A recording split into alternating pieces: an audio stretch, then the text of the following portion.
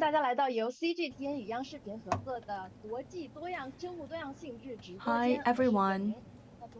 Welcome to our special program for the International Day for Biological Diversity from 10:30 to 6 p.m. Today we will show you a lot of wonderful facts about our animals.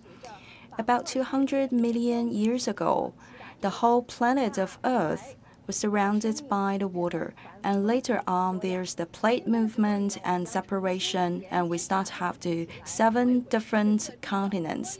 Today we're about to connect once again the seven continents, and together we can have a view about the beauty of the biological diversity.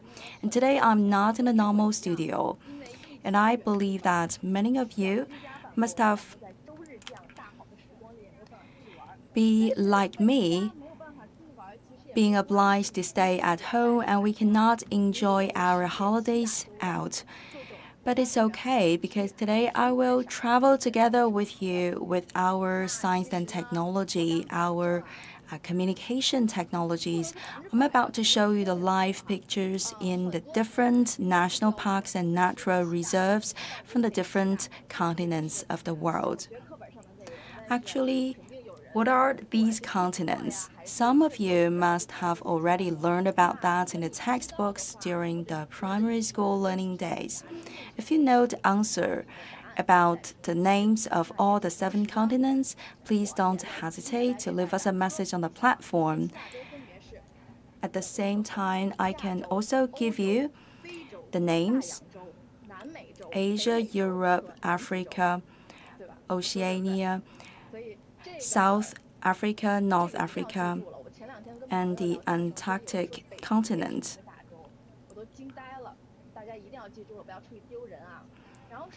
And days ago, when I talked about the seven continents with my friends, some even mentioned the North Pole, but the North Pole is not a continent.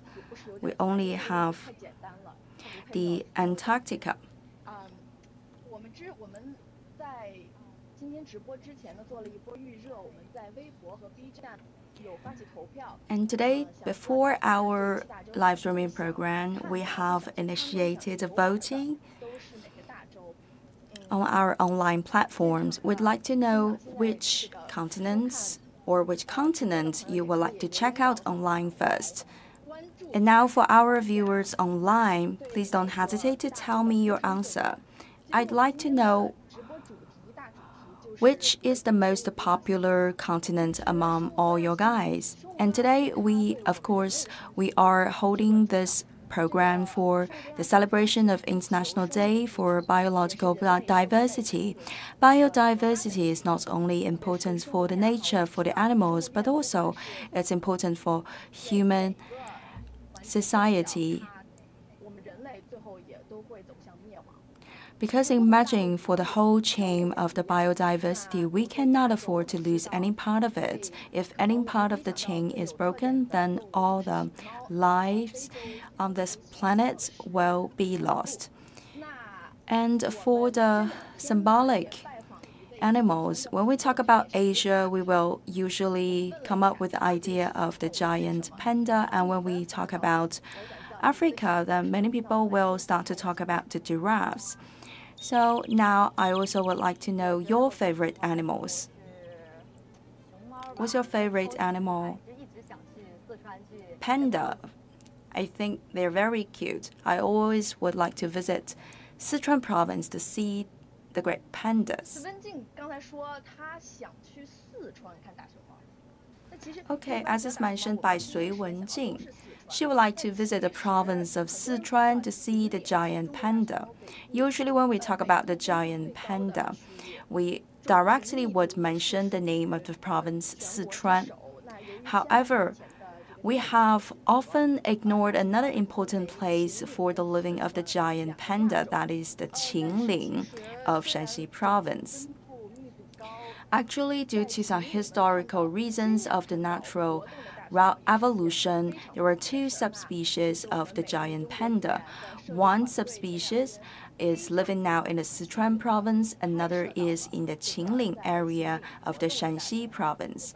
Days ago, we have had the chance to take a video clip in the Qinling area. Dear viewers, please have a guess. What am I holding now in my uh, in my hands? I'm now standing inside the Qinling Natural Reserve. I'm now surrounded by some experts for the protection of the giant pandas.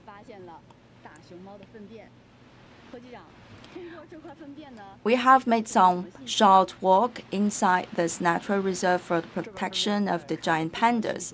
And now we have already discovered one piece of feces of the giant panda.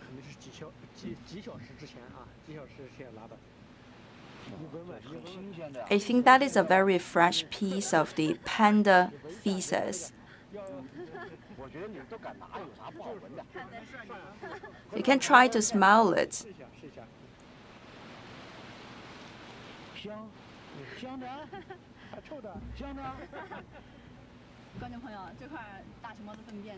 How does it smell? So, dear viewers, to tell the truth, actually, the smell of the feces of the giant panda is exactly the same smell of the fresh bamboo. I agree. Smells rather good, actually. So, what kind of clue can we get from these pieces of giant panda feces? Since now we are on a trip of discovery of the giant pandas. Now you can still find some fibers of the bamboo from the feces of the giant panda.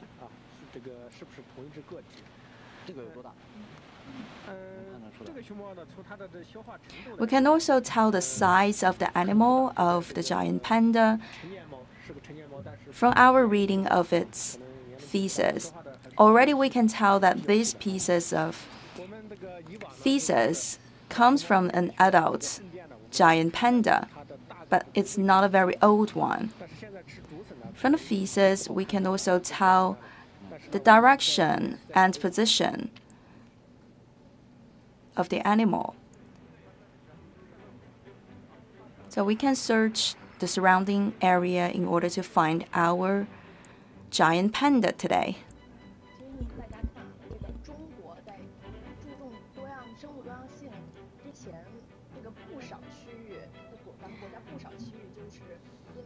China has attached great importance to the protection of biodiversity.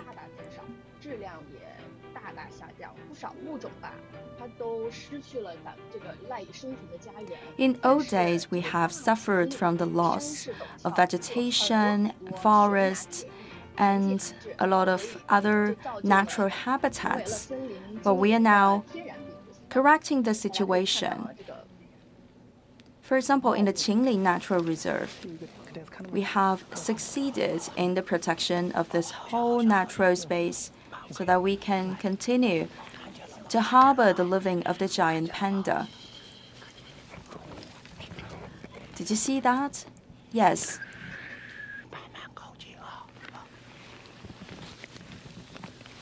We try to move closer. Little by little.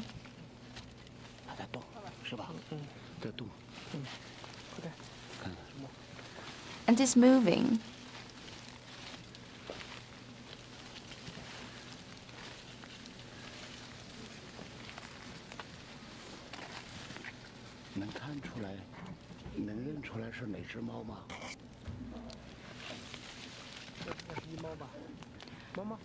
Can you recognize the name of this giant panda?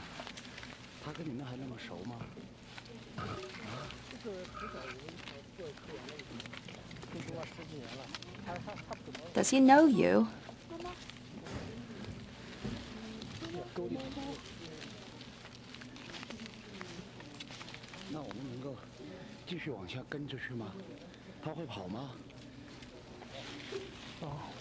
Could we continue to follow him while he while he run away?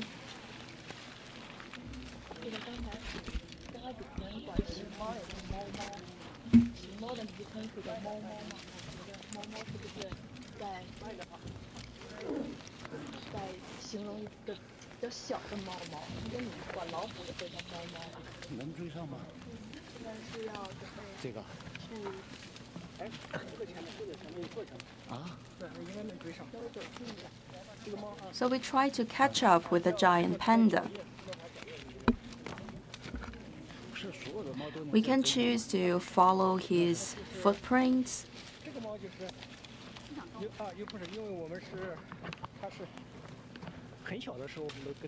啊又不是，因为我们是，它是很小的时候我们都跟着的啊，一直跟着做啊做科学研究啊，它不怎么怕人啊，嗯，但是以后咱看 Can we trace all the giant pandas? Not 野生大熊猫可能不会被看人。 in all the cases, but this time we can do it because we have started our interaction with this one since its childhood. So he's rather familiar with us. That's why we can trace him.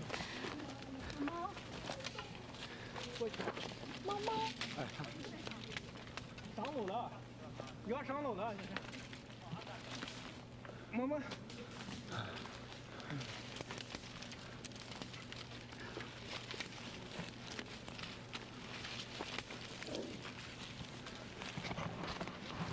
你这行吗？行行行拍摄大熊猫的这个 Are you doing okay? Yes. 真的是非常艰难啊，看起来。As you can see that our friends on site, they're making an effort in tracing this giant panda. You also have to mind their steps because it's quite slippery on the mountains. And they are using the nickname kitten to call out our giant panda, the one that they are looking for.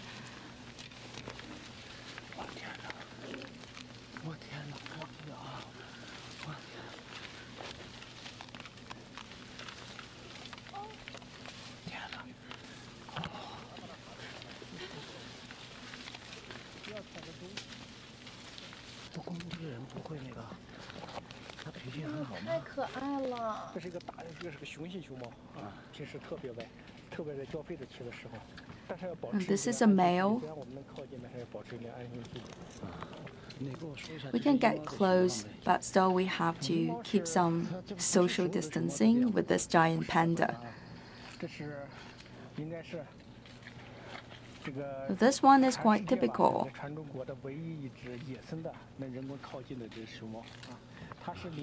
全中国的唯一一只野生的能人工靠近的这只熊猫啊，它是零零五年出生的，零五年出生的猫。嗯， And this one was born in 2005, and I believe that among all the wild giant pandas in the world, this is the only one that would allow human approaching. Because since its childhood, we have already started very close relationships with him, and we have also made a lot of interactions with him. It's also one legendary giant panda.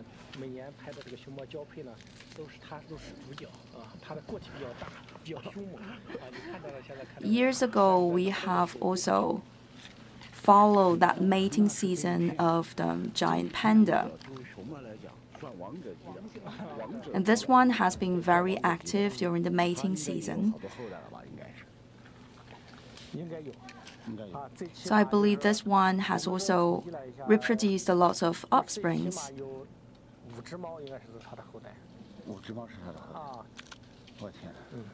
So now he has at least five offsprings.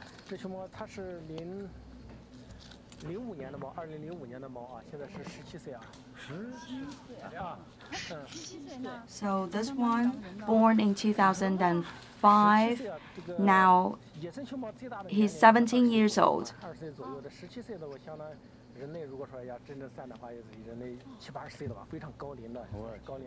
Usually for a wild giant panda, one can live up to more than 20 years old. So since he's now 17 years old, it's already relatively old. 没有了，没有了，它没牙了，嗯，牙不好了，牙不好。啊，全扯了啊。 哦。这个传奇 And now we can see that he has relatively bad teeth conditions. 就在咱们那 However, judging by his color of the fur 国宾 and 一直在保 also 护区这个范围内， his body conditions, we can see the health condition is rather 其他的 good with 猫 this 野 one.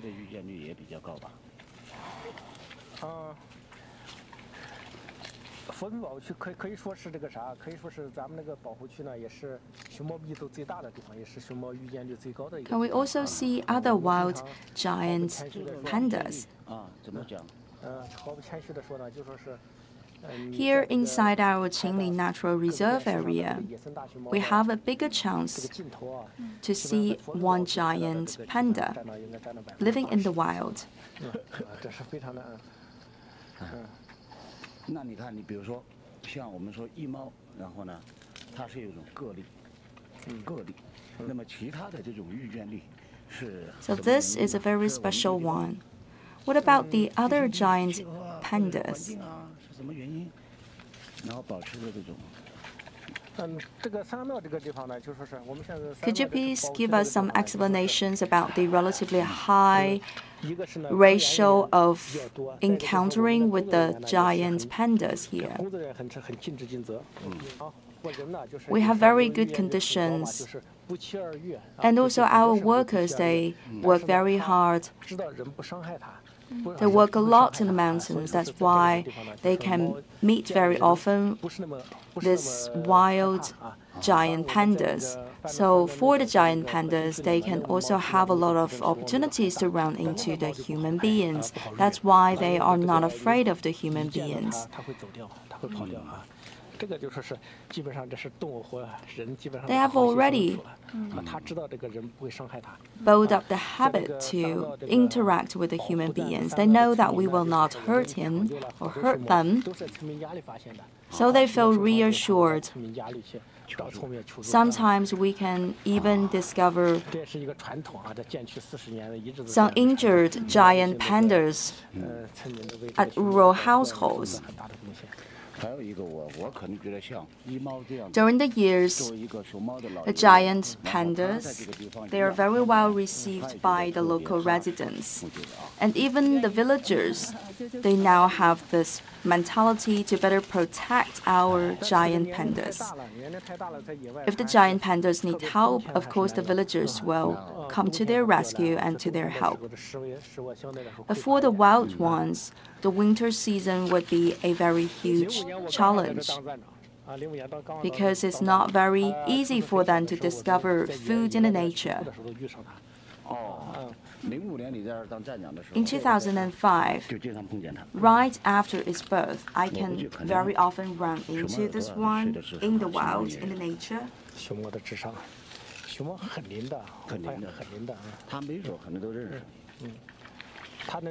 How clever are they? They are very clever, they're very smart. They can also understand our human beings. So that's why just now you call out its nickname Kitten Kitten. This is amazing. The giant pandas, they are known all over the world. And this time we can have this opportunity to have a close distance interaction and the opportunity to observe this wild giant panda from very close distance. So let's continue with our walk in the mountains. 这个我们其实要说一下，啊，就是，嗯，有一个很重要的一点要提醒大家，就是我们在外面在野生区域 One 上 important tip for all of 这个 you 知道一定要保持一定的距离，不光是保证自己的安全，规避危险，也是 when you go into the nature, when you run into some wild animals, please always keep some distance. Don't try to disturb their normal living. It's also a way to protect yourselves, because we always would like to live in harmony with all the natural animals, and we share one same planet. 中国保护环境这个哦，sorry。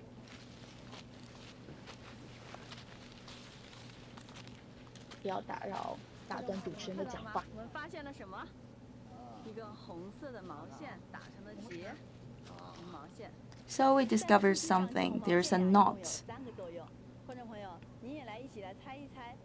Here are three reasons why we have to tie the red knots on the bamboos. You can always have a guess. You can also leave your answers on our platform. If you get it right or you get all the three right, you can receive a gift from our side.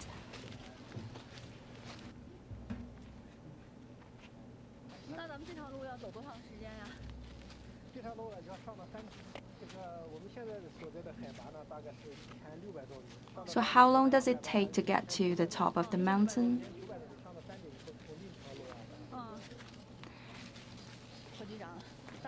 Now we are at an altitude of 1,600 meters on the top of the mountain at the peak. It's around 1,900 meters. And later on, when we need to go down the mountains, there's another road waiting for us.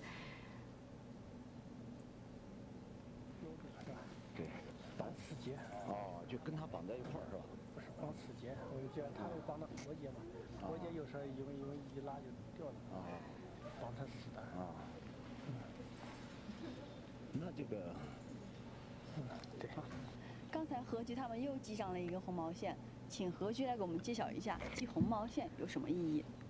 So just now, Mr. He has tied another knot with the wall. now I'd like to give the floor to Mr. He to tell us the reasons behind. There are three reasons. First of all, to give the warning. Sometimes when our patrolling team members they are doing their job here and they get lost in the mountains when they see the knot. They know that someone have already discovered the path here so it's no worry to panic. And the second is to leave a trace of our work here because sometimes our upper authorities would come to this region to check out the progress of our work and the third explanation is the warnings to the wrongdoers. This is a sign to show them that our patrollers are around. Please pay attention, don't hurt any animals.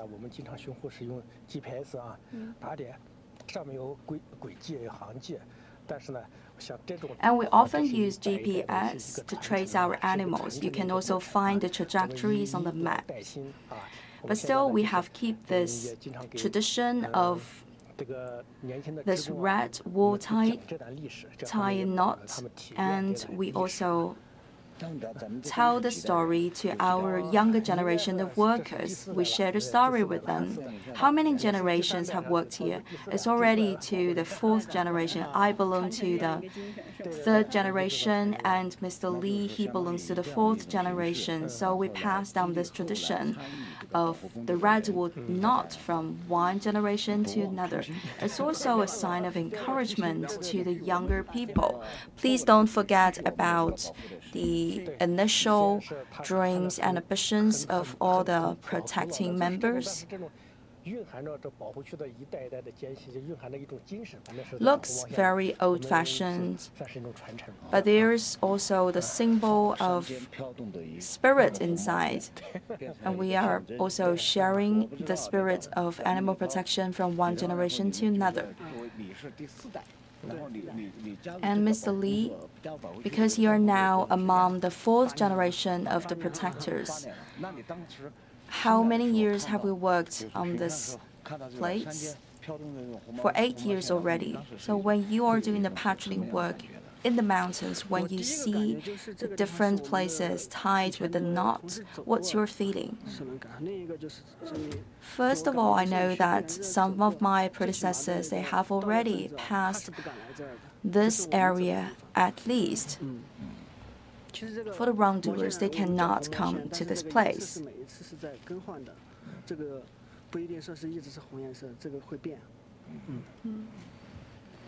And from time to time, we also change the colors of the walls. So the first is to make the sign, the second is to set up a record for the works. And the third explanation is to chase away the poachers. 非常感谢这个摄制组的团队、老师们和这个自然保护区的工作人员。Thank you very much. For our colleagues at the site and also the experts at the site to show us about the giant pandas living in the wild in the Qinling area. We have already selected two lucky stars of today. I'm about to read out your names. Congratulations. And one more thing to share with you for the protection of the giant pandas. If we protect the giant pandas, actually we're also protecting the other animals in the nature.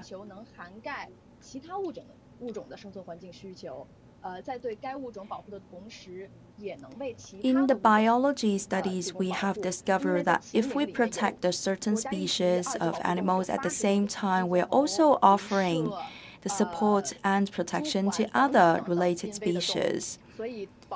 And inside the Qinling Natural Reserve area, there are also any animals living together with the giant panda. So that's why I've mentioned before if we protect the giant pandas, then actually we are also protecting the other animals. I'm a nature lover. I have so much ambition for the nature and also the flowers, vegetations, plants, etc. If you would like to gain much more knowledge about biological diversity and to know more about the plants and animals on the seven different continents, please stay tuned. can always take some notes and you can also try to remember all those tips of knowledge we share you share with you during this program because at the end of our program there will be other rounds of selections of our lucky stars to win the souvenirs. Just now we have checked out the treasure of Asia, the giant panda living in the wild. Now let's just move to another continent. Previously, we heard from Sui Wenjing. Now let's continue with our video clip. Which continent do you want to visit the most to see the wild animals?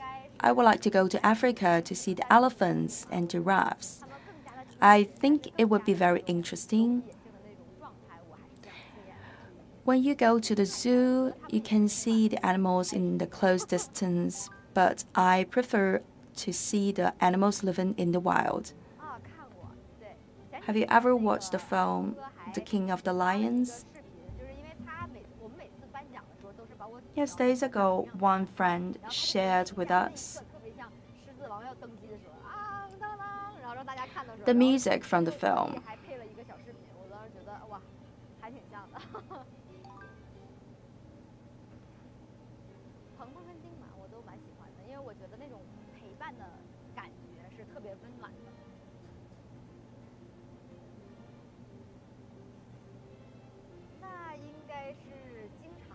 Tell us about your personal experience to get close to nature.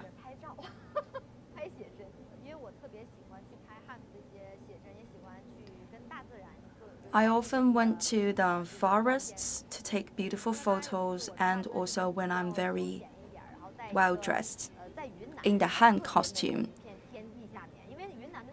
Once when I was in Yunnan, I discovered that the scenery is changing and it's always so beautiful, it's breathtaking, and we can feel totally that charm from the nature. So I did one pose of yoga, and it was highly appreciated by our fans with the Weibo.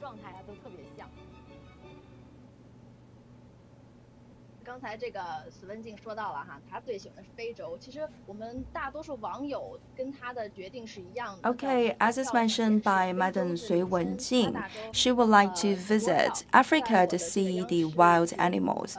And Africa is also one of the most voted destinations among our viewers for the sightseeing with the animals.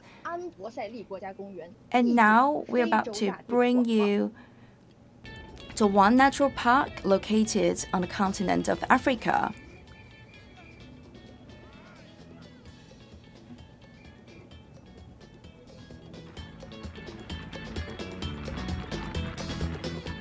Jambo, jina langu ni Penina Karibe.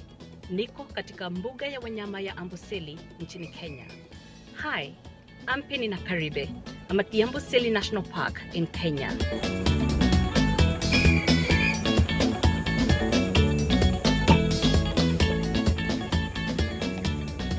Amboseli National Park has such a rich history. The name Amboseli comes from the Maasai community. It's the predominant community in this area, and so it has such a huge influence in the park itself. The name Amboseli is a Maasai word that means salty dust. So it describes the soil that you find in the park and actually even around the, the park in the area. So it is very fine, loose soil and it is ashy in color. And a lot of times when there's wind, and you'll see that especially when it's hot, there's wind, you'll, you'll see these little dust storms that are commonly known as dust devils in this area. Now, Amboseli is also known for two things. One, it's referred to as the land of giants, and that's because you find over a thousand elephants in this park, free ranging elephants. So you get a very good up close view of these free range elephants in the park. Like you literally have to stop your vehicle sometimes to just let them pass. In fact, one of the interesting things I picked up as we were coming into Amboseli Park, right at one of the gates, they have a set of rules, the do's and the don'ts as you come in. And one of them is about the speed limit. They say the maximum speed is 40 kilometers per hour. And if you exceed that, you will be flagged down by an elephant. Interesting, right? So that just gives you a picture of just how many of these jumbos there are in Amboseli Park. And that's one of the main attractions of the park. The second attraction is the majestic Mount Kilimanjaro. It crowns the, the park. On a very clear day, you will actually be able to see the snow-capped peaks. Beautiful. We've been here for three days now and we've been fortunate to actually capture the snow-capped peaks in the evening. This has happened mostly in the evening, right about 5 p.m. as the sun is just about to go down and it actually goes all the way until dusk. So it's a beautiful sight.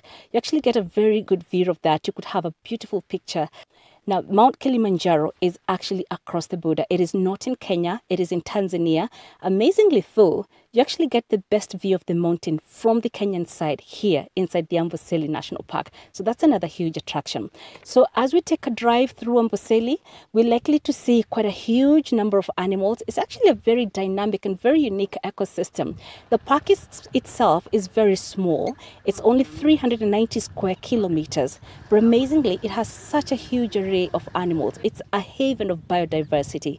We have over 400 species of birds. How amazing is that? And we have these beautiful birds as well called flamingos that emigrated from Lake Nakuru and came to Amboseli just recently. So that is also pulling in lots of tourists who cannot perhaps make it to the other side of Kenya and they come here to Amboseli and they get to see this fantastic bird. So we'll be able to see that. We'll be able to see lots of animals from the Lion King. Most of us have watched that movie. Uh, so we have the elephants, we have the lions. You remember this, the Simba, Nala, and so many others. The hyenas. Remember the character Shenzi. We're likely to see all of these animals. And the beauty of Amboseli is it's open plains, so it's very easy to spot them from a distance. So let's take a drive and see.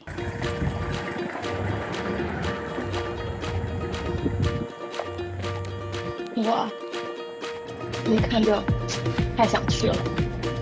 刚才主持人说到这里面有那么多非洲象啊，其实非洲象是整个大陆最大的呃最大的陆地的这些都是非洲象。那它比咱们这边的亚洲象还要大一些。但其实非洲象它，据我了解，它应该是分为了两种两两个种。两种非洲象，一种叫热带草原象，另外一种叫呃森林象。那热带草原象其实怎么区分这两种象其实挺简单的。热带草原象它的这个大牙啊是弯的，就是有一个弧度。那森林森林象是这个牙是直直的，就是戳下去。所以这个其实是非常非常直观的呃区分草原象和热带草原象和森林象的这个呃。And for the um, forest elephants, they have very straight elephant's tusk.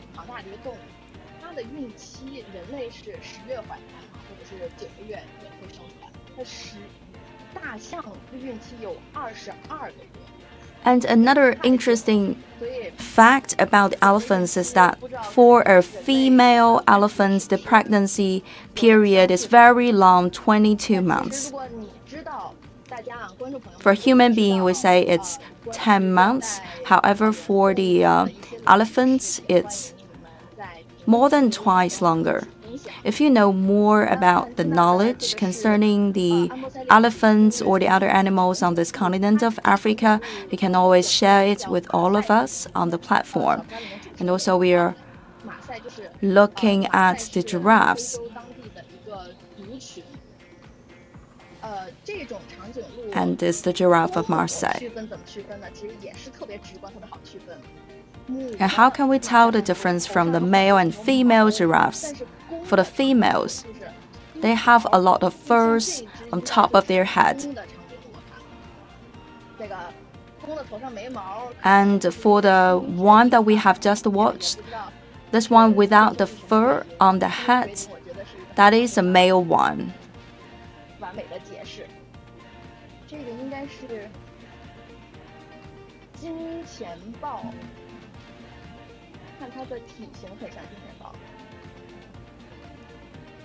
金钱豹。金钱豹就是 leopard，它在非洲还是非洲？Looks like a leopard. And the leopards, they are very often seen on the continent of Africa. There's quite an array of animals to be experienced. Amboseli National Park. And the beauty about this park is that you don't really have to struggle to see the animals. You could just be taking a drive on the road and boom, there they are. Like now, for instance, look at this old buffalo male just lying here next to the road in this marshy area. So one of the things about such bulls is that they tend to be chased away from the herd. Sometimes it's because they can't even keep up with the pace of the rest of the herd. And so you find they slow down and eventually they're left alone. And you can tell its age by the horns. If you look at it, you find they're long, they've curved all the way up. Uh, because they grow with time, it tells you that it's actually lived its years.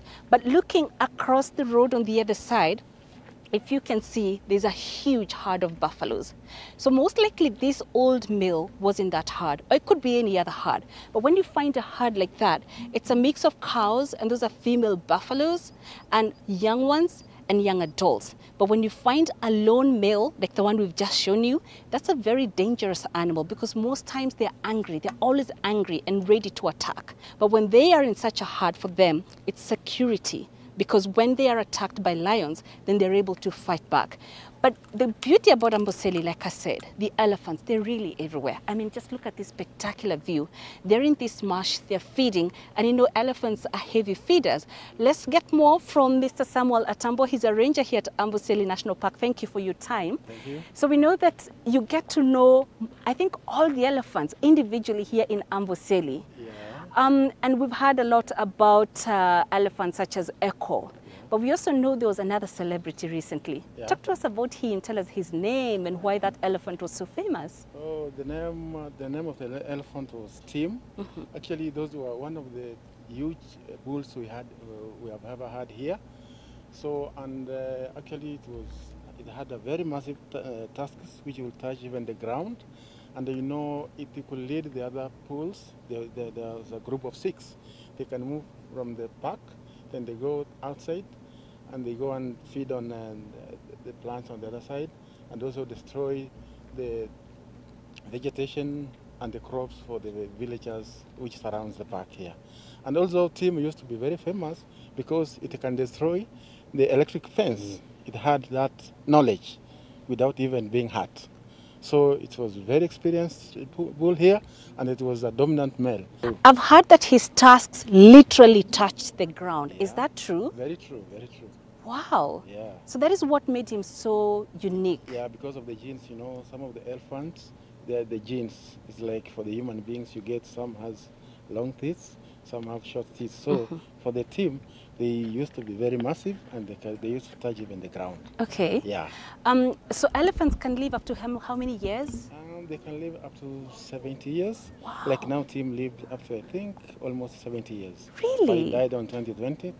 Yeah. And he died of, uh, was it an injury or just natural causes? Natural cause because old age. Old age. Aha. Yeah, very true. Okay. Yeah. Now talk to us a little bit about some of the characteristics of elephants. For instance, we've noticed that everywhere where there's a bit of water, we find them or trees. Yeah. Talk to us about why they're so popular in these areas. Actually, they're popular in this area because you can see here there's plenty of food.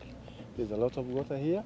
So that's the reason why they're eating here. You can see this is the place where you can see green grass, green vegetation, and the area is cool for them. Mm -hmm. Yeah. And what about the white birds? Because they're everywhere. Where you see an elephant or even a buffalo, you find the, the white birds. What are they called yeah. and what purpose do they serve? Oh, actually, for those ones, those are the, they are called the cattle egrets.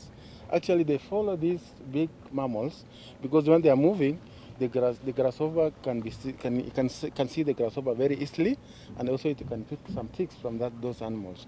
Aha. Yeah. And of course, they don't harm the animals. If anything, when yeah. they're removing the ticks, they're helping clean themselves. Very true. Aha. Okay. Yeah. Yeah. Um, there's a sound I noticed the elephants were making. Yeah. Um, a low rumbling sound. What does that sound signify? Actually, they are communicating. You know, they can vibrate. They can communicate up to 10 kilometers radius. So that's the reason why you hear the, the sound.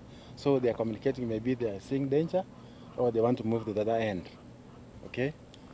That's the reason why they normally communicate a lot. Mm -hmm. Yeah. Okay. Another thing I've noticed about the elephants is you find a large one at the front, you'll find like a large one at the back, and there's always this little young one somewhere clustered in the middle. Yeah. Uh, that kind of pattern, is it to protect the young ones or is it coincidental? Yeah, no, actually it's protected the, the young ones when they sense danger. Actually, when they're moving, they move in a single file and then normally the, the calves they're in the, in the, middle for their safety. So for the elephants like this, the big herd, you get the, the one which is experienced, known as the matriarch. It's the one which guides this family when they go and eat food, when they move from the marsh to that, to the other end. So actually, the, the old one is the one which is experienced. Mm -hmm. So it's the one which guides this other family to places where they want to move to. Okay. Yeah. Right. So when we talk about elephants, you know, they're huge, huge, huge mammals. The other animal that comes to mind, especially for people who've watched the movie Lion King, are the lions, the king of the jungle. Yeah. Um, you know, for movie lovers, they will remember uh, Simba, Nala. Yeah. So, you know, when we talk about lions and them being the king of the jungle, yeah and an elephant being the largest land mammal. Yeah. Is it often that you find elephants uh, being attacked by lions, for instance? Yeah, elephants they can be attacked by lions. Mm -hmm. But these lions, they have be many in number. Yes. The pride of like 10 yes. and the strong ones. That's when they can bring down the elephants. But mostly they go for their cubs, the small ones. Okay. Yeah. All right. But it's not easy for them. Yes. Because elephants actually know how to defend their young ones. Okay. And their experience. Uh-huh. Yeah. And and you know the impression you get from a lion, Simba, being the king of the jungle, yeah. is that he can literally get any animal that he wants. Uh, is that always the case? Talk to us a little, a little bit about how they hunt the animals they prefer and why. Actually, for the lions, like now here in Amboseli, they normally hunt the zebras and the wild beasts. Actually, these are easy catch for them. Yeah. Yeah, and they're, they're plenty, there are many, the grazers. But sometimes they can go for big kill. You know, the pride goes and they, it can bring down a big elephant like this one, then they can eat it for some time, mm -hmm. right? And they can defend that kill until they finish it completely. Okay. Yeah. And um, in, in the movie Lion King, Nala, she was this this very strong character. She was the the wife, you know, of, of Simba. And I think she played a, a very important role in just helping him conquer his uh, his enemies. And I think that brings me back to the lionesses because they are the ones that hunt. It's not the, the lions that hunt. So the lionesses, how do they hunt? Why are they so central in a pride? Actually, for the family of uh, lions, the dominant female is the one which guides the family uh, when to hunt. Okay, so normally for the lions, the female is the one which hunts very accurately and they're very fast actually. For the big males, actually after the lioness, uh, they have killed uh, an animal, male will come and feed first, then the lioness will feed later, and the calves also. Mm -hmm. So actually, that's the reason why you see the, the, the, the mother of, the, of, of that pride is very caring and he knows when to look for food. So like human beings. Yes. Yeah. The mother, The the, mother the peel of the community.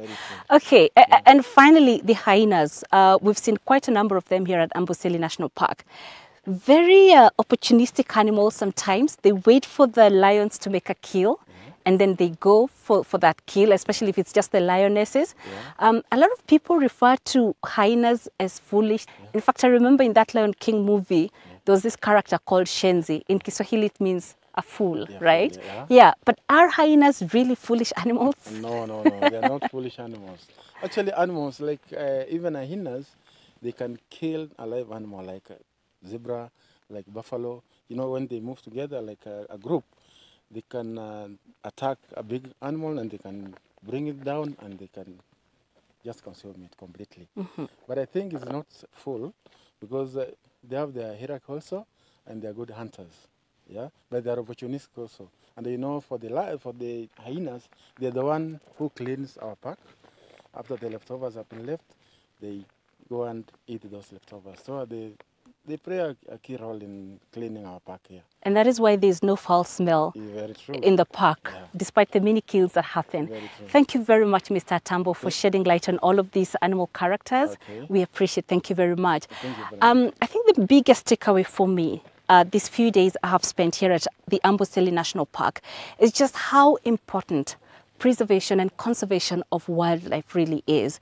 Amboseli is known for having huge, huge elephants with massive tusks, as you've heard from the ranger Atambo Tim, who just recently passed away of old age, lived to a ripe old age, had tusks that literally would touch the ground, and you don't really get to see that a lot. And the reason why Amboseli has such a success story when it comes to preservation and conservation of elephants is because it started way, way back, centuries back, because this area, as I mentioned earlier, is predominantly a Maasai area and the Maasais are known for having fierce warriors. And so back in the day they had a reputation for being so fiercely protective of these animals that poachers actually never made it to come and poach any animals. And so that reputation was carried on down centuries and you can see that is how Amboseli has managed to conserve these uh, gentle giants. For me I guess we wouldn't be talking about elephants if we didn't have such people that were so committed to protecting their heritage. And I guess that is important to pass down these unique lessons and these unique, beautiful pictures, you know, and experiences of these animals down to other generations to come. My thoughts looking at these beautiful animals, enjoying this beautiful diversity here, you know, I think this is one of the takeaways for me after this whole visit here at the Amboseli National Park.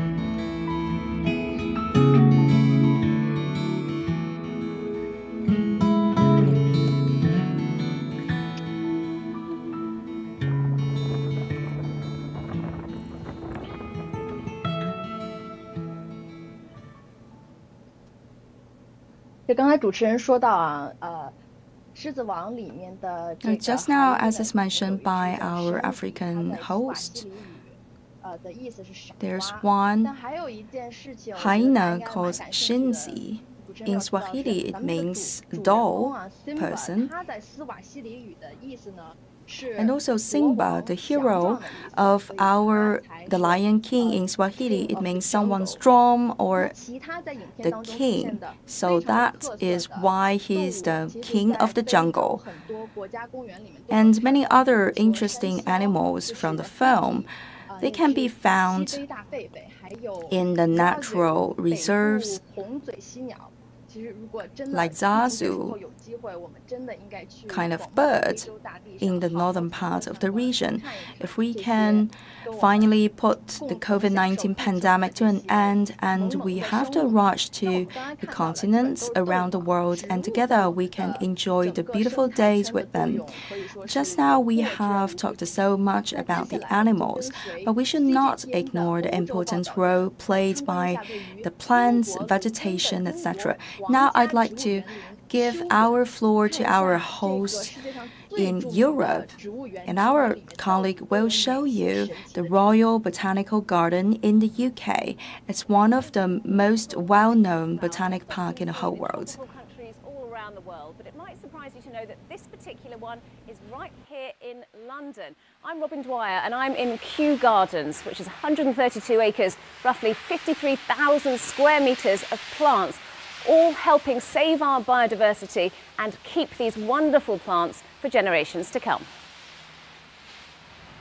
So I'm here in the Palm House in Kew Gardens and that's designed to mimic a rainforest environment. So it's always above 18 degrees centigrade because the plants that live here need to be warm and wet. As you can probably hear, there's uh, some lot of watering going on here to keep these jungle style plants well watered. So there's many things that you can see, uh, hundreds 10,000, I think, uh, specimens of plant here. Uh, they're ranging from uh, things like the ancient cycads, which preceded the dinosaurs. And then in this section here, I don't know if you can see, there is uh, some edible plants. There's a cacao plant here. That obviously goes to make chocolate. We have a vanilla plant up here. And round the corner, we have more edible plants that you might recognize. There is a uh, papaya plant. I'm going to see if I can take a shot of that right up high. I'm pretty small, so you might not see it above my shoulder, but I will uh, find it. There it is, right behind me, up there. And there are also uh, banana plants. We've got bamboo in here. And it's a fantastic repository of many, many plant species, all helping conserve the biodiversity of our planet. This beautiful pink flower is called the Madagascar periwinkle. It's native to Madagascar and they found out that it can be used to make drugs that can help treat cancer. Well, this bamboo can grow up to 25 metres in the wild, but uh, not in this greenhouse.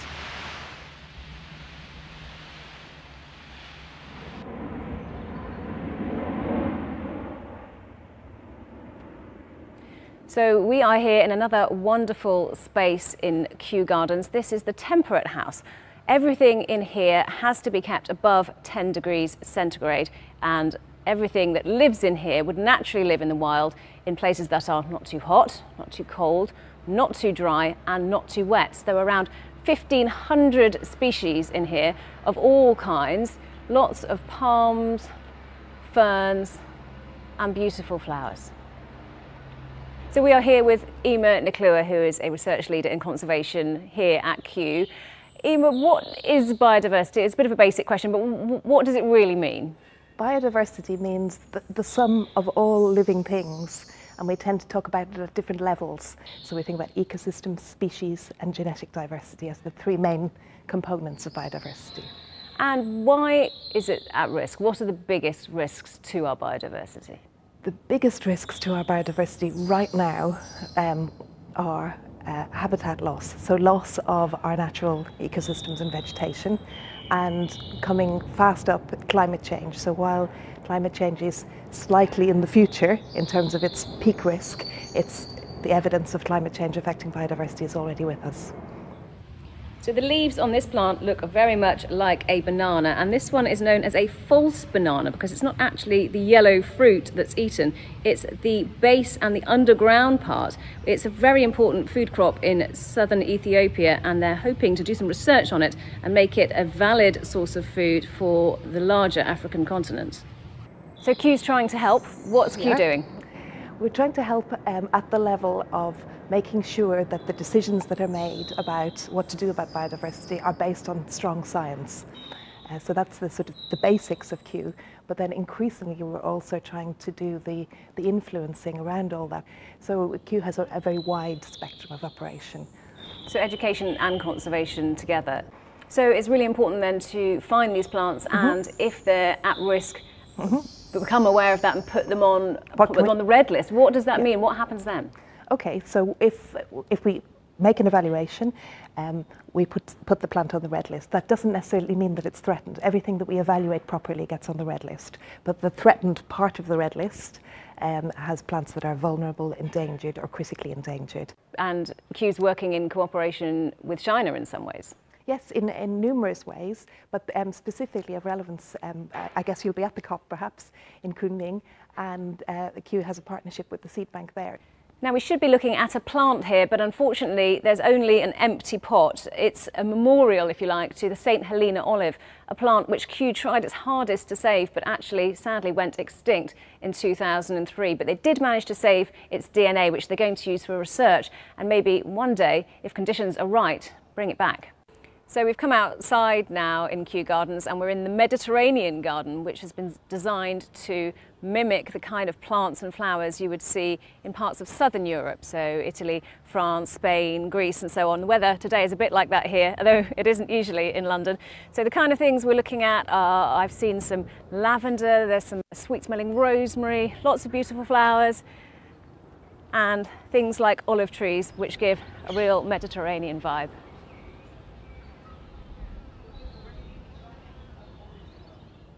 Well, I've only been able to show you just a fraction of the things there are to see here at Kew Gardens in London. It really is no wonder it's one of the UK's top tourist attractions, but it is just so much more than that. It has a really important role in helping keep our biodiversity for the future.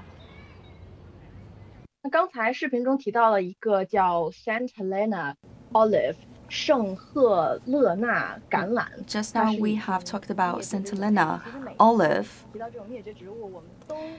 it has already gone extinct. Every time when we mention those extinct vegetation, the plant or animals, that is a sign of warning to our human beings. If we don't do anything, if we don't work harder to protect those animals and plants, then more animals and more plants would be put in this risky situation. I've been to the UK, but I've not been to the Kew Gardens in person. I hope in the future that I could get a chance to visit that garden myself. And for a lot of those wonderful places, Without COVID 19, I think it's quite easy for us to go and visit. But if we talk about the seven continents, then for the Antarctica, that would not be a place that is so easy to visit. Currently, we have already set up the reserve area around the Antarctica, especially for the protection of the biodiversity. Today, we have invited several guests who's very familiar with Antarctica. For example, one researcher, Miao Xin, and he has visited this place for five times in a period of one decade.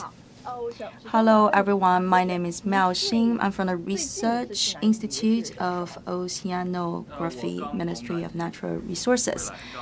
What's the last visit to Antarctica? I have accomplished the 38th research mission for the Antarctica. We've been back on the 22nd of April. Could you please share with us the details about the missions over the past one decade for the seal study and also for the penguins. And we also had other missions, for example, for the base creatures. So over there, you can have the opportunity to see the seals and other wonderful creatures. Yes, very often. Oh, And for the walrus, walrus, you cannot find them in the Antarctica. You can only find them in the North Pole. For the seals and also the walrus, we don't have so much opportunity to see them in person. But I've discovered one way to tell the difference from the walrus and the seals. For the walrus, they cannot stand straight. But for the seals, they look alike the walrus. However, they can stand straight right on the surface of the rice. For the walrus, uh, they also have very long teeth. Is that right? I think it's right. One more thing.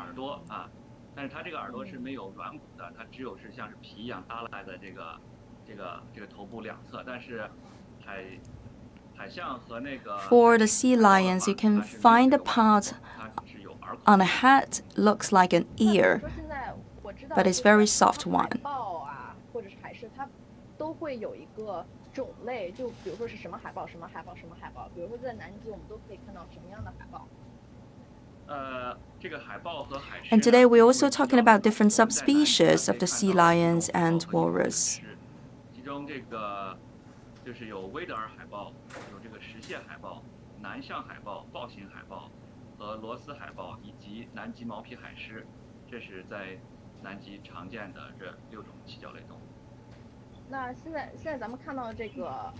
In Antarctica, we can find normally seas. Common species of the seals and sea lions. This is called the Weddell seal. It's commonly seen around the Antarctica. Usually they have the smaller size of the head and longer body size. And they're very mild in character. It's relatively easy for us to get closer to them. And for this species, they are also more oftenly attacked by the whales, for example.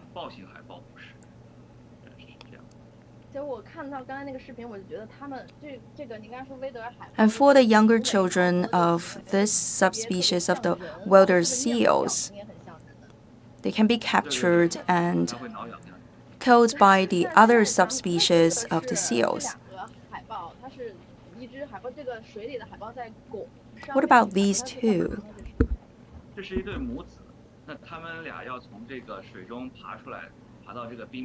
This is mom and son. They want to climb out from the water. The mother has first of all carved away, and the mother has let the son to go first. They're making this hole, and from some, from time to time they have to get out of the water for the respiration. In Antarctica, usually we can only see these Weddell seals that are making the holes on this thick surface of the ice. They have very developed muscles around the neck area. And they will come out for breathing and for how much time they can stay in water. They can stay every time for several dozens of minutes. Maximum duration can be uh, 70 minutes or more, and usually they will stay there for more than a dozen of minutes. And they will also do this in a fixed area of ice.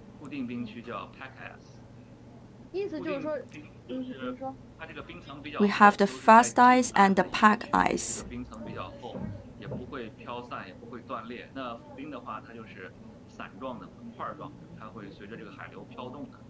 For example, we have the floating pieces of ice that can be movable, floating on the water, and there are also relatively fixated parts that are connected with the land.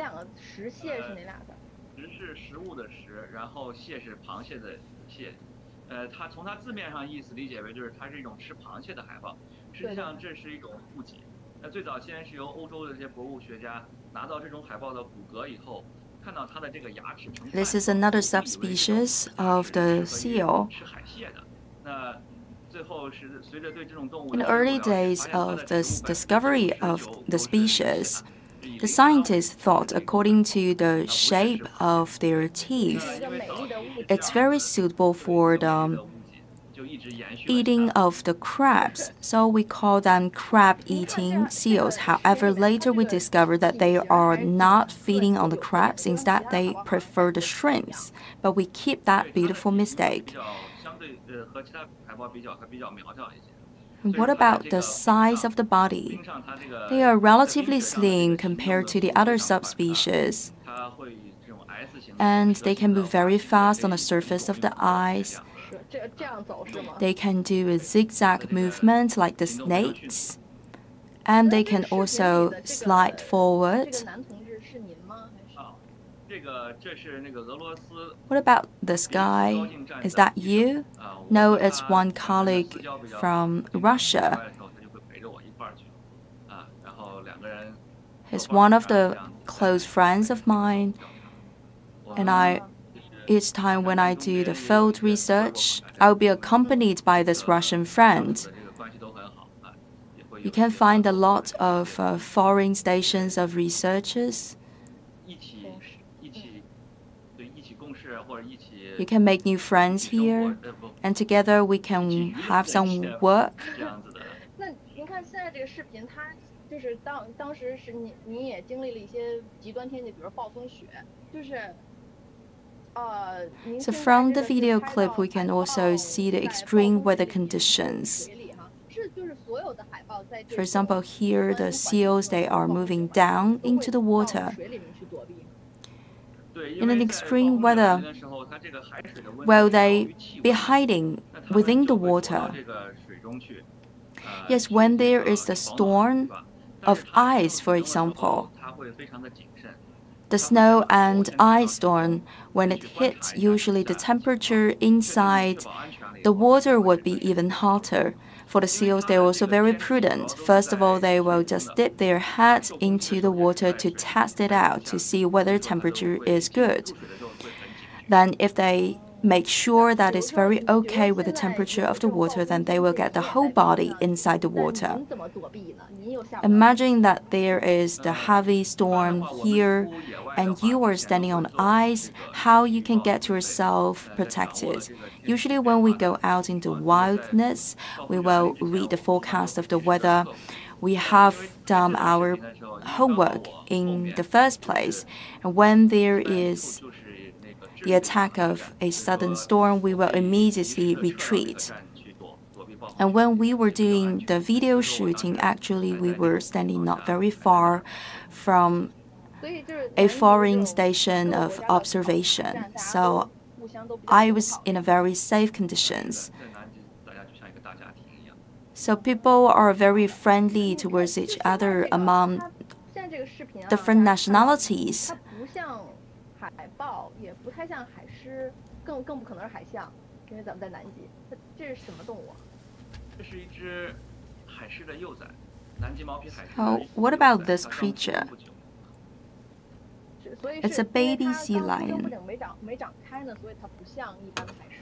对对对，你有没有感觉它像一个小狗崽一样？像，很可爱。Looks like a puppy instead of a baby sea lion. He's playing with you. I discovered this one in January 2013 during one random visit. And later on, I've carried out regular observation on this lovely creature. I will move to the area of his birth. As I can tell that he's moving around alone. Does he belong to a group? Actually, this area is not the area for the reproduction of their species.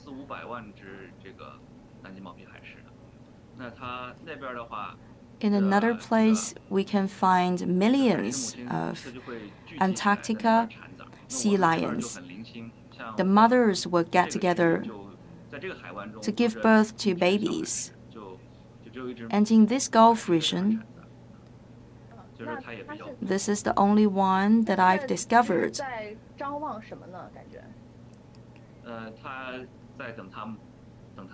I think he's looking for something. He's waiting for his mother to come back. So his mother every day would go out. Not every day. Every time his mother would leave for three to five days. And then after the three to five day long visit, the mother would come back to nurture, to milk the sea lion. What about that period for the mother sea lion to leave? If something happens to her, what about the baby? Who can take care of the baby? Then possibly this baby sea lion would be adopted by another female sea lion. So you have been constantly observing this one. I've made the recording until end of March. So that's about a duration of two months of observation. So later on, after the end of March, you didn't see the sea lion anymore.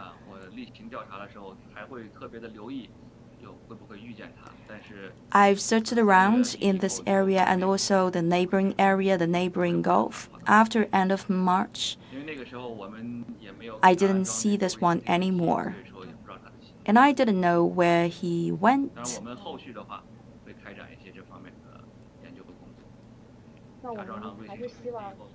In the future, we can consider some missions of the observation of those sea lions. For example, we can consider the real-time observation and tracing of the sea lions. Thank you very much, Mr. Miao. Thank you for sharing us um, your wonderful adventures in Antarctica. I also wish you successful missions in the future so that you can contribute more wisdom of your side. And I hope to join you in the studio in the future.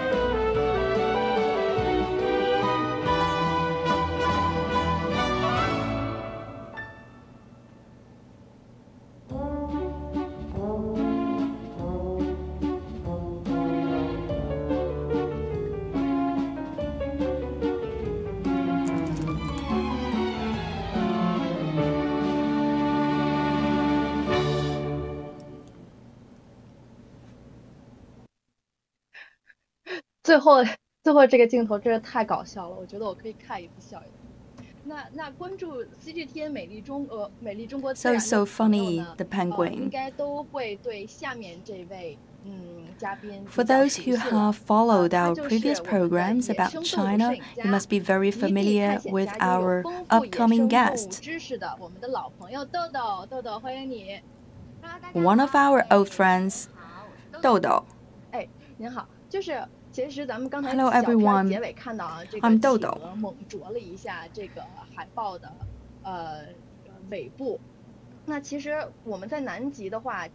Just now, with the ending of the previous video, we have noticed that the lovely penguin has just attacked the tail of the seals. Yes, in a certain area, all the creatures that live in harmony, but sometimes there could also be conflicts and attacks. For a certain species of the Antarctica seals, they will feed um, on the penguins. They will eat them.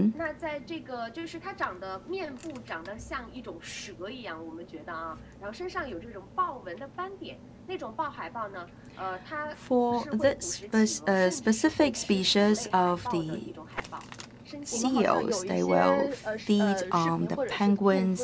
They have the dotted patterns on the skin.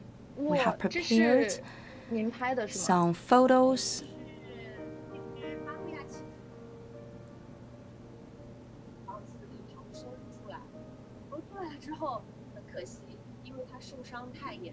This is one penguin that has just escaped from the attack. However, he has been so gravely attacked and injured, finally, he didn't survive.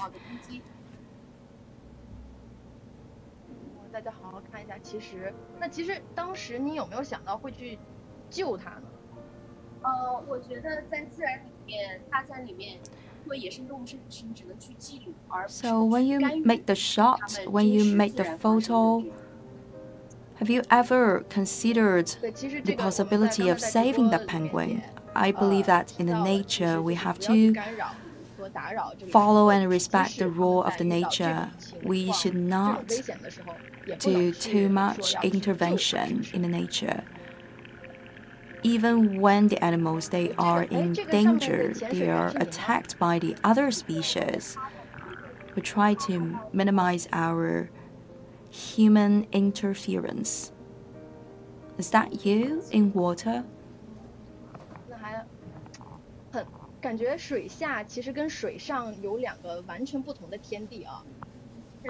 你看企鹅啊，虽然是呆呆萌萌的，你看企鹅呃它在陆地上。So on the land and in the water is totally different. 那比如说您在接触企鹅，您去哪？哦，这个小脚印太可爱了。你就是您去南极拍摄企鹅、拍摄其他动物，有没有接触过企鹅的过程中有一些有趣 We go to the Antarctica to take photos and videos about the penguins. Could you please share with us some knowledge about or stories about the penguins? 那就非常多了。你看啊，企鹅这里这里的时候，我拍到这个帽带企鹅，这个长得像。玩的那个帽带企鹅，它就是在叼石头， 呃，它们要筑巢，然后来吸引这个雌性。那么在企鹅，For example, these penguins are the male penguins. They have to collect a lot of pebbles, um, the stones to build up something, so that finally they can succeed in attracting the other female penguins. Some male penguins they are hardworking, and some others they are very lazy. So for example, from this video, you can see some of the hardworking males, they have collected a lot of stones, but for the other lazy ones, they were just, just trying to steal the stones from their neighbors.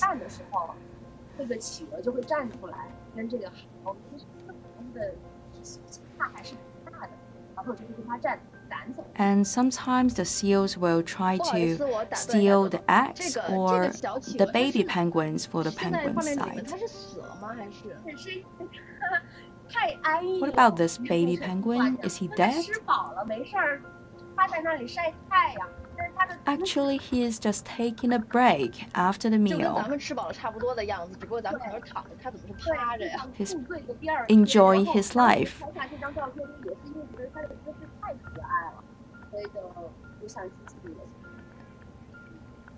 At that moment, we thought he's so cute. That's why we made that photo shooting.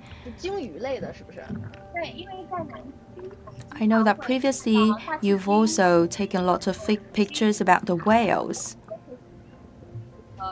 Yes, in Antarctica, very often you can also see the whales.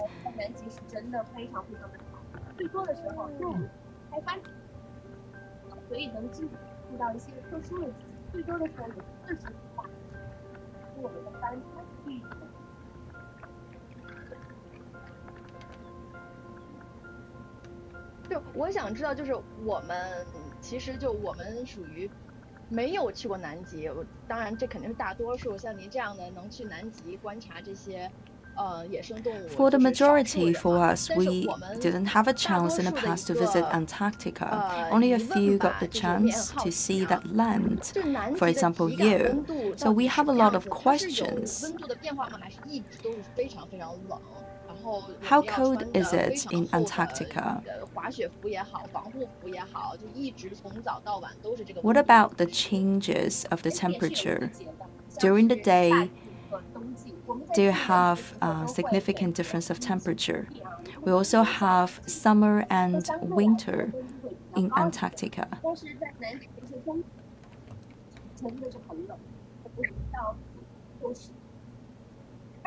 If you go and visit Antarctica in its summer season, it's still acceptable for us.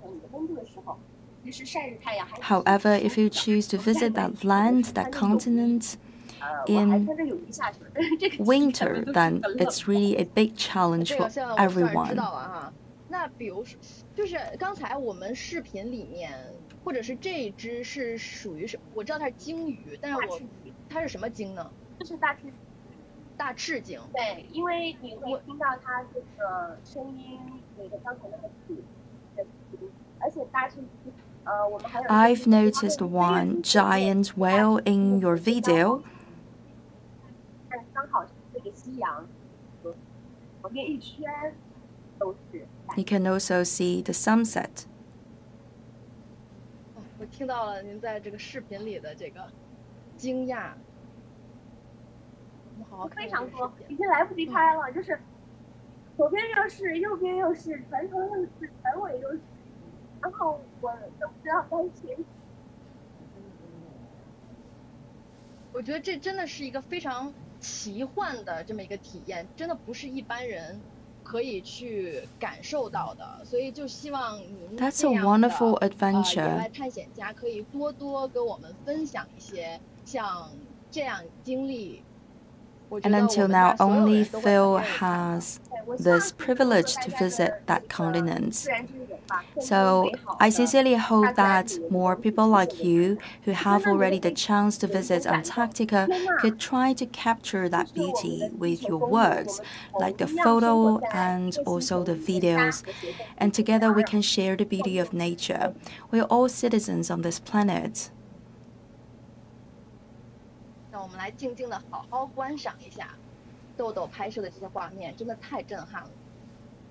So let's enjoy those beautiful images captured by Dodo. 我觉得如果我要是当时和您一起在船上的话，我肯定 完全就是没有，我觉得没有任何语言可以去形容我当时的 If I were there with you on the boat, 我其实人生的 bucket list 当中 there's no words to express my feelings. However, I've already made it into my bucket list to visit Antarctica one day. Imagine if I could go there one day. First of all, I, ha I have to collect some funds the fundraising, and what about the other preparations?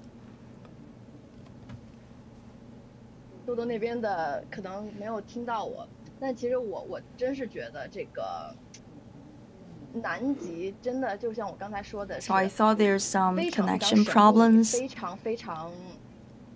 As is mentioned before, I think the Antarctica is a mysterious place. Everyone would like to have a chance to visit that continent. So maybe we can say thank you to Dodo for sharing us her unique experience and a lot of knowledge about this continent. And I know that Dodo, you are also a great expert about the rainforest. So in the future, there will also be other more sessions to tell about to tell everyone about the rainforest. So maybe we will get you inside our live streaming programs in the future. Just now we have checked out the animals in the Antarctica. We have also visited the other continents, for example, with the savanna and also the botanical gardens. And now we'd like to move to North America. When we talk about the natural parks and reserves, of course we will think of the Yellowstone.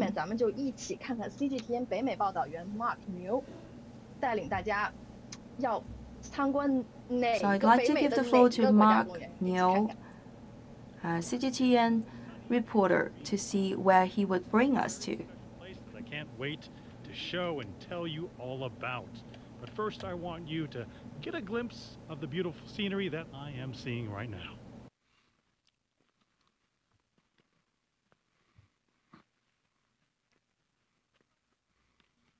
Some very majestic trees that you just caught a glimpse of right there. I'm going to tell you much more, but first I want you to actually guess where I am. Is it A, Yosemite, B, Sequoia National Park, or C, Joshua Tree? Have a think about it and put your guess in the comment zone section. But I'm also going to give you a little hint, or perhaps a really big hint. This is the park's main attraction. It's called the General Sherman. The General Sherman is the biggest tree in the world. It's not the tallest, it's not the widest, but it is the biggest tree in the world based on the volume of its trunk. A few other tree trunks are bigger, some trees are taller, but no other tree has more wood in its trunk than the Sherman tree. The Sherman tree's top is dead, so the tree trunk no longer gets taller. However, its volume keeps increasing. Each year, the trunk grows wider, adding enough wood to equal another good-sized tree. So it's not the tallest tree in the world, but the General Sherman is pretty darn tall in my book. How tall do you think it is? A, 63 meters, B, 73 meters, or C, 83 meters? What do you think? Well, the answer is 83 meters, and that's as tall as a 27-story building, so that is really tall. But unfortunately, we can't get too close because the General Sherman, being so popular, is fenced off, but there are many others that you can get right up next to. I'm going to look. Sequoia National Park's giant forest is home to around 8,000 sequoia trees. Come take a look. In fact, half of the world's largest and longest trees are in this area. You can learn about them inside and out. Absolutely amazing. In fact, they're so tall, over 200 feet, and yet when you look down at its base, their roots are not deep at all. In fact, they only go about five feet down or 1.5 meters. Uh, that balance is a bit out of whack. So the number one cause of death for these trees is actually toppling over which as I say that, that's a little bit scary when I'm inside there right now. I think I'll move outside. Some of the trees here have so much character that they get their own name. Like this group of eight trees, which is called the Parker Group, named after former Army Captain James Parker and his family. You can see how majestic they are. In fact, you ever heard the term tree hugging? Well, these trees have been really good to me. Let's give them a hug. And here at the park, there are even trees that you can drive through. That's right. We are here at Tunnel Log. A tree that fell many, many years ago. We don't know how old it was, but now it's a little tunnel where we can go right through. Oh, it says it fell in 1937. Here we go. And to learn more about Sequoia National Park and its many intricacies, I'm meeting up with an expert here. I'm going to meet one of the park's ecologists, Danny Boiano. Nice to meet you, Danny. Hi, Mark. Nice Mark to meet New. you too. How are you? Um, we're meeting at a special place. This is very, very interesting. Let's take a look over here. What is this? Well, this is a place we call Tharp's Log, and it's named after Hale Tharp, who was in one of the earliest settlers in the, in the area. He came here in the 1850s and um, created this cabin uh, attached to this down giant sequoia log and uh, was here for a number of years. Let's see what we have in here. And that looks like, what is that there? Well, this is the inside of a sequoia log. So giant sequoia, um, you know, uh, Hale uh, fashioned a picnic table here and there's a, a, foundation for a bed over there and there's a window and you could see the, the inside of the, the log is uh, black. So that was probably from the, the, the tree burning and falling. And so it was, you know, it wasn't hail that made this black. Probably had fires in here. Fire plays a very important role, but a lot of protection measures that go in here? Yeah, so fire is a natural part of the ecosystem. It's been here for a long time. And, uh, you know, sequoias are actually dependent on fire. The cones that hold their seeds, which is how they reproduce, they only open up and release in large amounts from the heat of a fire. So they actually need fire to both release their seeds and it clears the underbrush on the ground. It clears the soil so the seeds have a place to, to, to germinate and grow into a tree. Can we take a look at some of those cones? Sure. Uh, yeah, there's cones all on the ground right here, you know, some right below our feet. So these are sequoia cones right here. Some, you know, they're not fresh. Uh, they're, you know, a couple years old or older. If we looked around, we could probably see some fresh ones. They're, they're green when, they're, when they've just fallen and then they, you know, they turn brown as they get older. So here, this is a lot of evidence of a, would you call this a big burn scar? This is a burn scar, yes. Okay.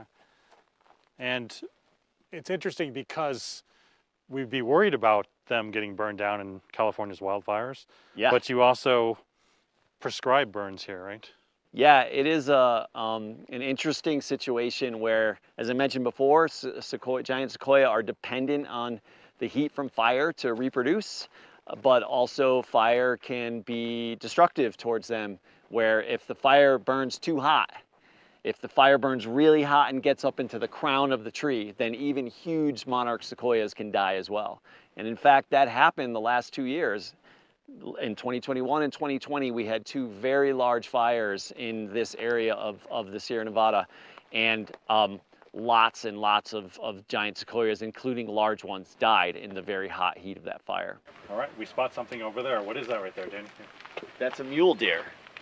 And it's a native deer in the park and it's a male. You can see the antlers that are starting to grow on it, the fuzzy antlers. So uh, it's beginning of their growing season for the, for the antlers.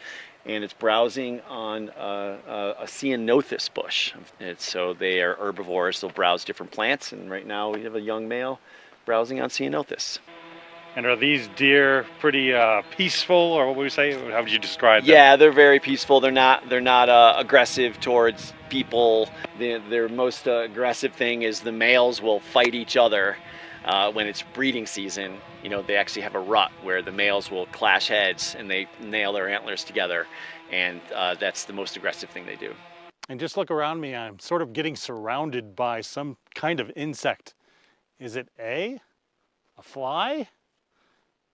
B, a gnat, or C, perhaps ladybugs. Which one is it? I'll give you a second here or two. Well, fortunately, if you can tell from the smile on my face, I'm enjoying them right now because they are indeed C, ladybugs.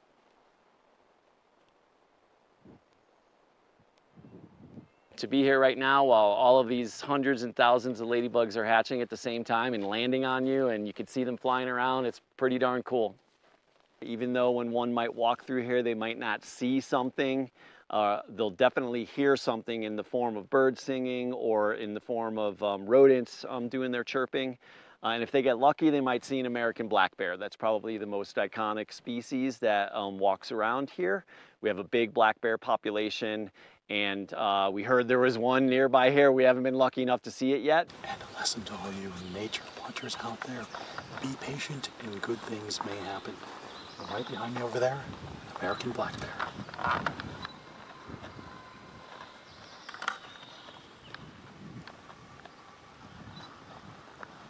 Don't approach, don't leave any food out because it might come after you. We're taught respectfully to be in awe and fear of bears, but as I watched this one play in a meadow, it's hard not to think of thoughts of just serenity and wonder. Wondrous fauna and obviously some breathtaking flora right before my eyes here at Sequoia National Park. You can just touch it, smell it, sit right next to it.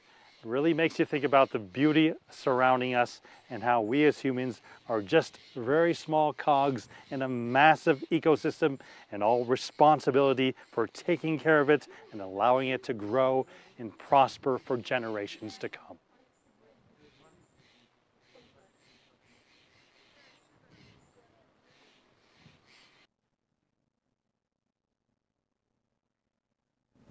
红山国家公园。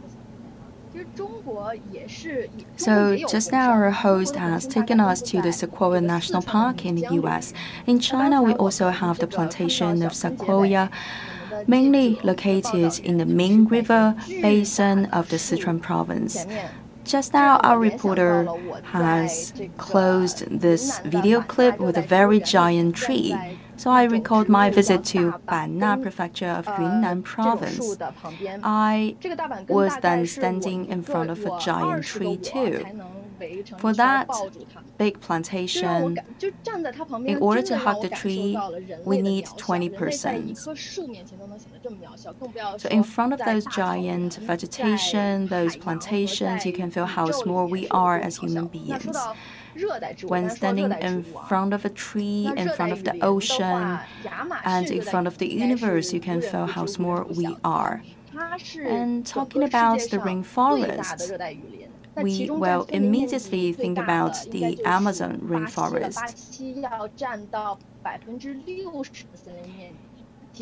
And then 60% of the forest area is located in Brazil. And also for the neighboring countries, they also have their own parts of the uh, rainforest. And now I'm about to show you a natural reserve and national park in Brazil. Inside you can find a very enriched biodiversity, the trees, flowers, animals, and birds, water creatures, etc. I'll show you a video clip. First, we'll take the boat for three hours before reaching this national park. We have our cameraman here.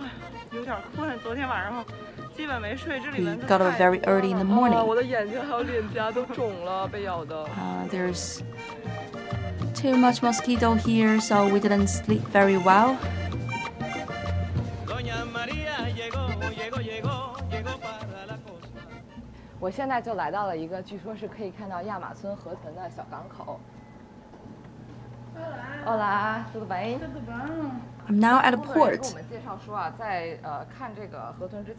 Just now, according to our worker here,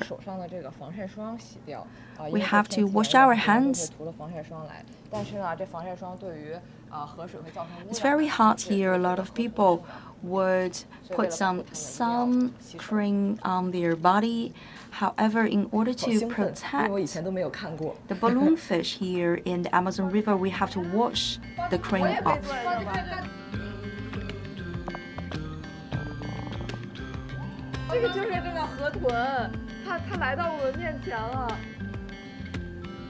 These are the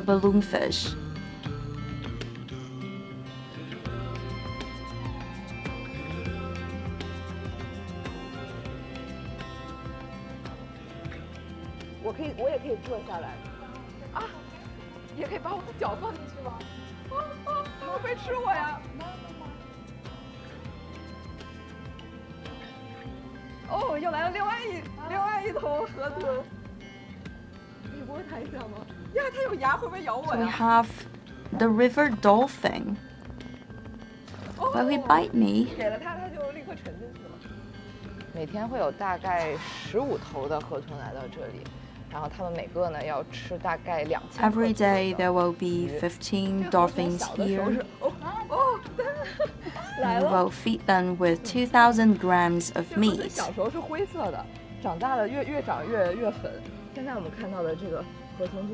In their adulthood, they will turn into the pink color, but when they are a little bit younger in the childhood, they are in a grayish color. We feed them and they leave with a lot of satisfaction. On the top of the head, they also have this breathing hole. When they breathe, they will make sounds like poof. Just like that, they're breathing.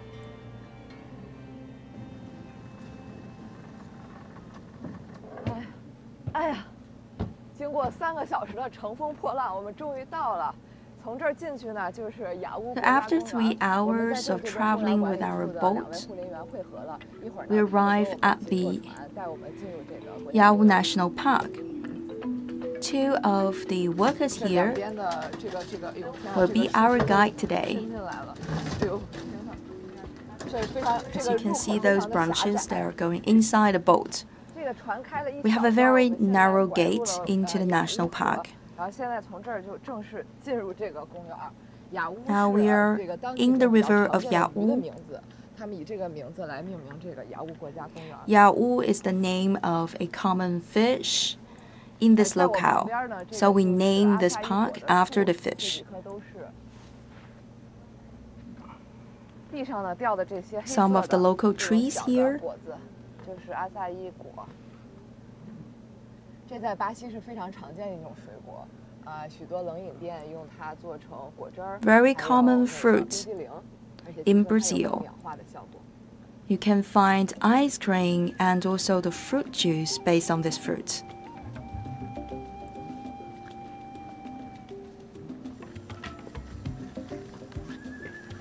现在走在这个雨林里，这个地上非常的滑，因为现在正是雨季。哎呦，现在在我面前的这棵巨大的 very slippery here because we are now in a raining season。然后为了支持它这样的一个高度呢，它有着分布地上分布着非常茂密的这个根系。And now we are surrounded by the ceiba trees. The ceiba trees have a total height here of more than 40 meters. According to our guide, for these slice shaped part of the trunk, you can knock on it and there is the sound coming out. For the local residents who were living inside the park area, if they were attacked by the wild animals or they got lost, they will just use something to hit on the flat section so that they can make huge sounds to send the message to the outside world and people would rush to their rescue. Oh yeah. A kind of nut. 在回去的路上，我们非常幸运，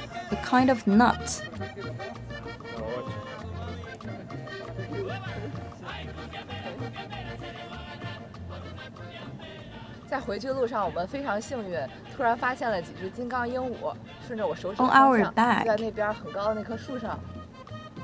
We had the luck to see some birds here. 旁边睡觉，正在模仿。 They are the macaws.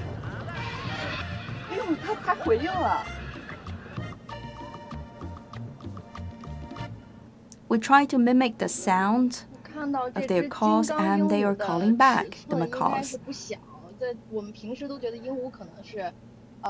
I believe that those are very large macaws.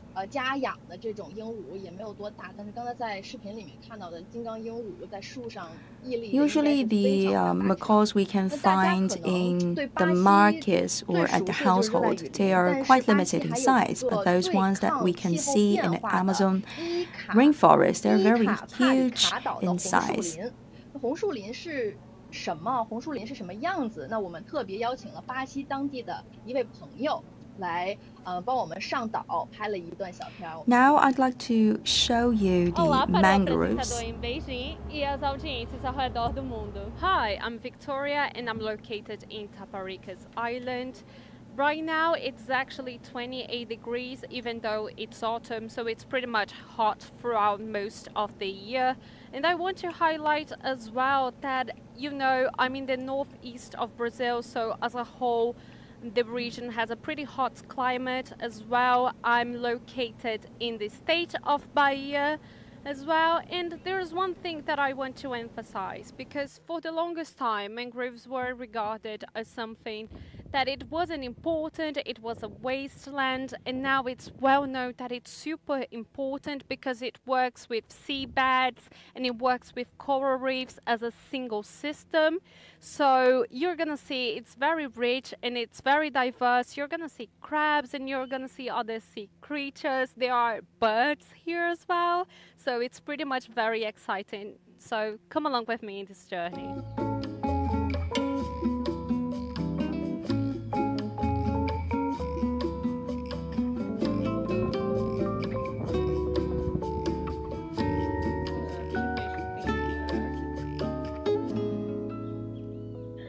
What I find very impressive about mangroves is how rich the nature is. As you can see, there was a bird right behind me there's a plant right here. So even though there is the sea, you can see a, an incredible variety of plants. 我我我其实不瞒大家说啊，就是如果我觉得这个小片没有音乐的话，我真的觉得它是在拍摄的是一个洪灾过后的灾区。虽然虽然这个好啊，但是还是非常感谢我们这位朋友，呃，主持人。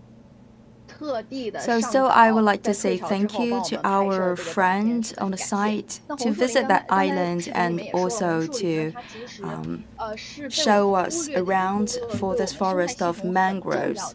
As is mentioned before, the mangroves, they are long ignored resources. Actually, they play a very important part for the protection of the biodiversity. And they are also showing us this capacity of storage of the carbon dioxide.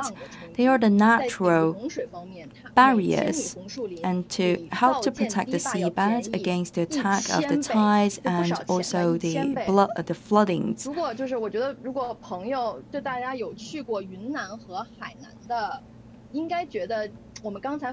If you ever visited the province of Hainan and Yunnan, then that video clip of Yawu National Park and also the mangrove forests, they would show you similar images of the trees, even though they come from different places, one in South America, one in Asia, in China, you can see the similarities of the vegetation of the plantations. And now, finally, I'd like to move on with our program. Hi, to show you the Oceania. Hi everyone. My name is Ruby and I'm Chris. It's a good day today. We are having a wonderful day and we are also in a beautiful place. Dear viewers, can you have a guess where we are?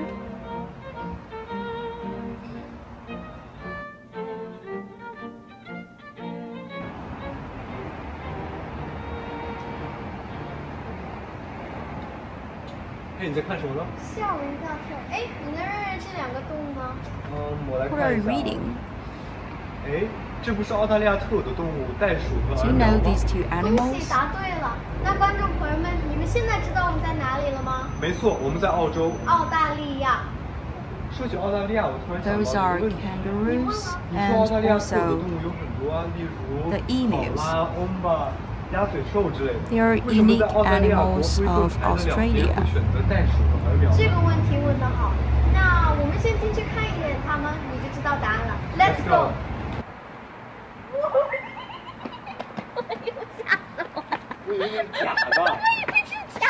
Actually, you can find a lot of interesting animals in Australia. Why we have decided to put kangaroo and also emu on the national emblem. 好想去耍一耍它。光板。光板。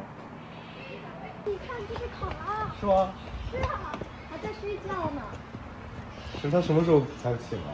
你知道考拉一天是二十到二十二个小时吗？你要运气很好才能看到。一天就只有二十四个小时，你在开玩笑吗？No, the koala they will sleep for more than 20 hours during the day. You're having a wonderful life. 希望这就是我的生活，你知道吗？我希望大家，大家可能都希望这是大家的生活。Hi, my name is Ruby. Nice to meet you. Um, I have a few questions about the koalas. Yep. So my first is, um, I see that the very cute koalas sleeping. Yeah. Here we go.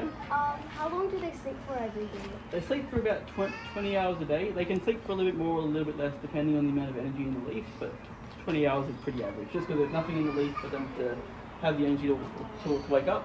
So they eat, sleep, wake up and eat again. If they if the leaf doesn't provide that much energy for them, why do they still eat it? Like can't they eat something else which gives more energy? So if they found something else to eat two for two three thousand years ago, they probably could.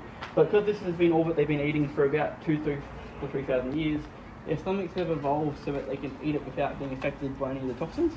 Which means that if they were to eat something else, then the stomach would have nothing to use those bacteria for, and it would make them sick.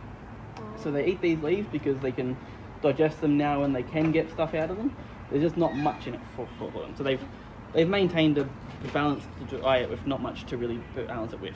Is this all they eat or do they eat any other plants? They can eat some, some other leaves, but leaves is pretty much all they eat.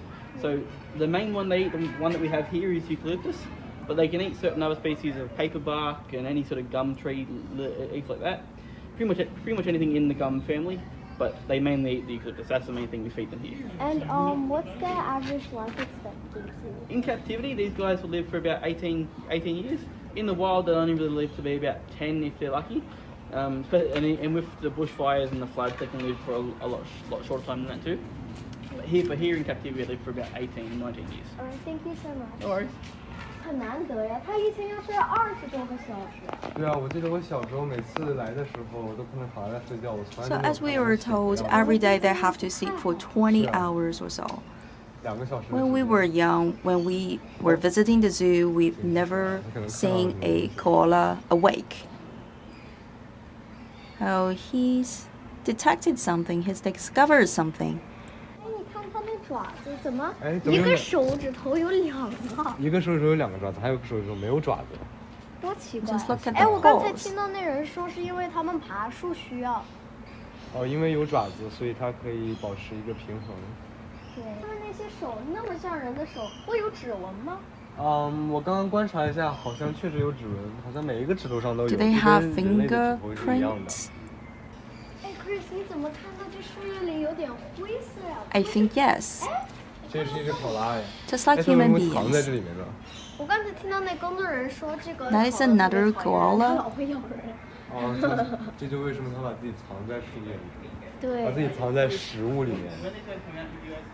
and according to our worker here, according to the keeper, that one is not that friendly. So maybe that's why he's hiding himself there behind the leaves. 刚刚听工作人员说都是两只公考拉，那他们会不会互相打架呢？这个问题问得好。我听那个。And according to the keeper, we have two male ones here. Do they fight? 他们会为什么打架？Um. Actually, they do fight. But what are they fighting for? For a place to sleep? No, actually, they are fighting for food. You're so lovely, the koalas. Over there, I've discovered the kangaroos, so we'll just run to the spot and feed them.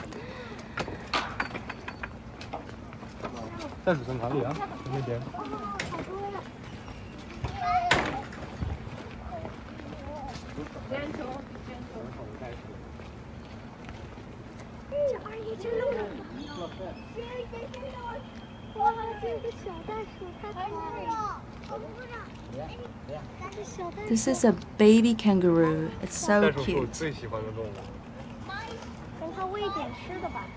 A kangaroo is my favorite animal. 哇，吃的好多呀！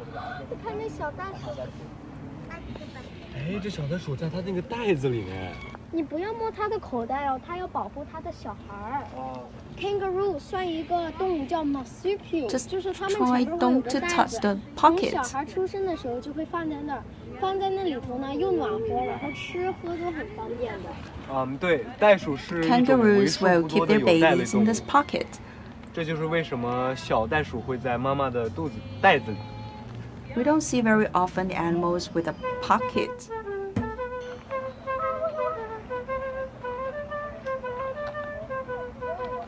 What's your favorite um animal in this park? What's your favorite animal at this park? What's your favorite animal at this park? Do you know what's your favorite animal, Lucas? Um, The koalas. And why do you like the koalas? Um, because like they climb up trees. They can climb up trees. What's your favorite animal? Roosters and peacocks. Oh, uh, I'd have to say the koalas are my favourite. And why is that? Uh, they play an important part in Australia's ecology, and because they were endangered in the bushfires two years ago, I think the park does a lot of work to try and you know rehabilitate them.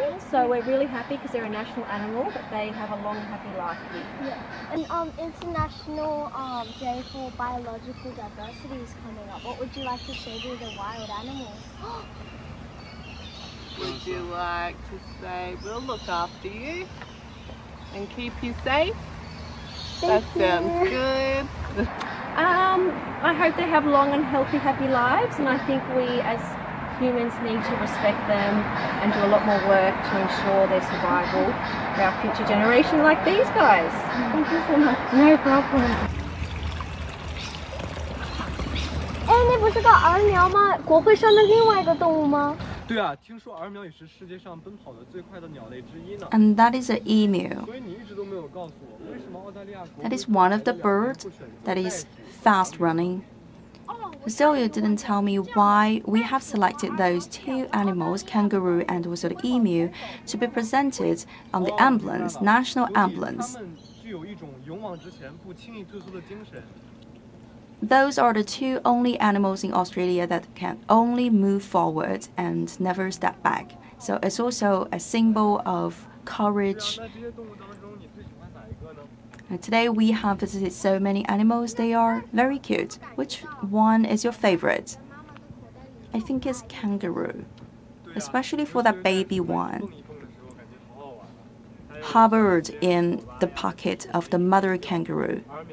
And also the koalas sleeping on the branches of the trees, and also the emus with their long legs. They're all very cute. I hope that they can find a very good habitat so they can find enough food to eat and also water to drink. Sincerely, we hope that all the animals living on this planet can be very well protected. And we also hope that we can discover more interesting animals in the future. 那看过了大洋洲，看过了澳洲的、澳大利亚的考拉公园，我们 After visiting the park of Koala in Australia, and now we are concluding our trip on the seven continents. I hope that you've enjoyed all this trip. In the very beginning, I've told all of you that you have to pay attention to the knowledge that we share during this program because towards the end of this live streaming program, we will give you some questions. It's like a short quiz. If you get the answers right, you can receive a gift. Now, my question is uh, how high is that Sherman, General Sherman uh, sequoia in uh, the Sequoia National Park? If you know the answer, then you can just leave a message on our platform.